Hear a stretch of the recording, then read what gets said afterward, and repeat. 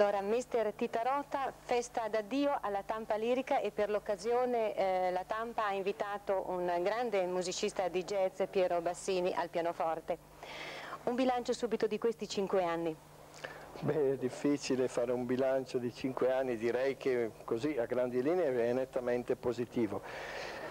E certo, si può sempre fare di più eh, in tutte le cose, anche quest'anno si poteva forse fare di più però direi che le difficoltà che abbiamo trovato quest'anno sono state molte, quindi se non decisamente positivo, buono direi, ecco, sufficientemente buono.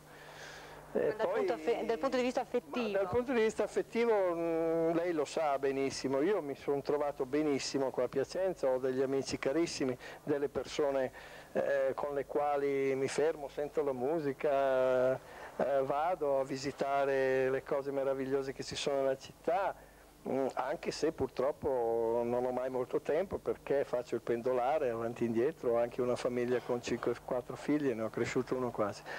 E quindi direi benissimo i rapporti, lo si vede qua, eh, ho parecchi amici, quindi io vado via da Piacenza con un po' di, di rammarico, quello credo lo, lo, lo, lo, possano pensare tutti perché stare 5, 5 anni in una città uh, si sentono, uno è insensibile, se no si sentono che alcuni legami si, si creano e quindi eh, ritengo, come ho detto prima, positivo il mio lavoro qua e adesso dopo 5 anni di buon lavoro è bene non rovinare niente, quindi eh, con grande eh, cordialità con i ringraziamenti dovuti al Piacenza che mi ha fatto venire qua a lavorare, al Presidente l'Ingegner Garilli, ai miei collaboratori, al Vicepresidente Ragionier Quartini, a Brolis, a tutta la gente che lavora, ai miei collaboratori vicini sul campo, parlo di Baggi, di, di, mm, so, di Sergio Montanari, di Paolo Pulici che è arrivato quest'ultimo anno.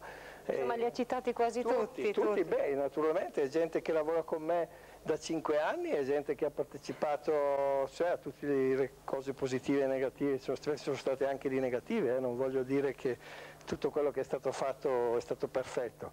Direi che è stato abbastanza buono. Ecco. Lei accennava prima, scusi mister, a queste difficoltà dell'ultimo campionato. Per esempio, eh, molto succintamente, quali sono state le difficoltà maggiori incontrate nel girone di ritorno che eh, sappiamo tutti insomma, è andato un po' incalando? Certo, è stato questo che alle prime difficoltà eh, tutti le hanno prese queste difficoltà come se fosse una cosa incredibile che ci fossero mentre invece era normale che ci fossero delle difficoltà, non si poteva pensare che eh, tutto andasse come nella prima, certo si vorrebbe che tutto andasse sempre bene, ma purtroppo non è così e nei momenti difficili bisogna esserci tutti. A proposito di momenti difficili, eh, escludendo quest'annata, qual, qual è stato il momento più brutto per lei in cinque anni?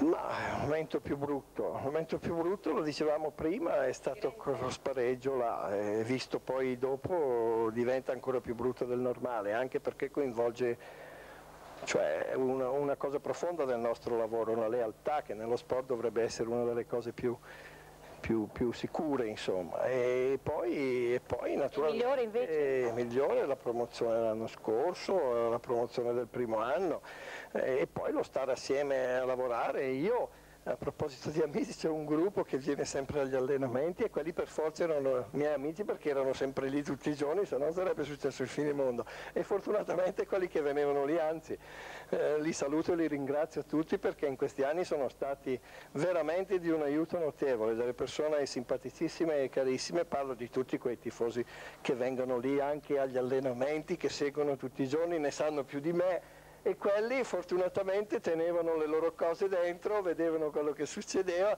e poi gli andava quasi, sem quasi sempre tutto bene, non sempre naturalmente. Quindi io saluto di cuore tutti i piacentini, tutti indistintamente. Eh, ma più bello è stata veramente la promozione in B o in C2, in C1? Ma io l'ho detto prima, eh, quella della, della C2 in C1 è stata più difficile di questa, proprio per un una serie di situazioni che c'erano, che la squadra eh, era stata un po' improvvisata, c'era quello che c'era, c'erano anche dei buoni giocatori naturalmente, però c'era l'imperativo di, di, di salire, perché rimanere in C2 voleva dire già dimezzare quello che erano le possibilità future della società, anche come mentalità, come psicologia, come, come volontà, anche come... e quindi è stato un anno duro, duro veramente, duro come tutti, nel calcio quando si fa un campionato, per vincere il campionato ci sono sempre delle difficoltà, e come dico le abbiamo superate tutte, adesso siamo in B, siamo rimasti in B, che era un traguardo un po' particolare qua a Piacenza visto i trascorsi. Eh, sì, questa, bene, grazie. E adesso mi auguro che le prossime promozioni le facciano gli altri, ce n'è ancora uno da fare, non è finita. Ecco, mister, siamo quasi, siamo quasi alla fine di questa intervista, ci concede ancora qualche secondo. Eh, lei eh, quali giocatori salverebbe per il prossimo campionato? Eh, una domanda questa. Se viene a Bergamo dopo che è incominciato il prossimo campionato glielo dico, però ne salverei tanti. Ecco, questo è sicuro. E una, una, una sua idea su, invece sul campionato europeo, l'Italia? L'Italia ormai per molti l'ha già vinto, per molti altri dovrebbe vincerlo, per me è probabile che riesca a vincerlo perché la squadra sta andando molto bene, direi Mm, cioè con uno spirito nuovo, con, con, degli schemi attuali che non sono quelli che vengono dalla stratosfera ma vengono dal nostro calcio e si sta giocando veramente bene, quindi avanti così che diventiamo anche campioni d'Europa. E Titarotta dopo Piacenza Calcio? Titarotta si sdraia sul sdraio nel giardino e col sole di queste giornate e, e poi probabilmente mi riverrà la voglia di calcio e perché è tutta la vita che faccio questo e quindi penso che ne farò ancora del calcio, non, non smetterò, però per adesso un po' di riposo credo di averne bisogno. Grazie a mister Rota, grazie, grazie tante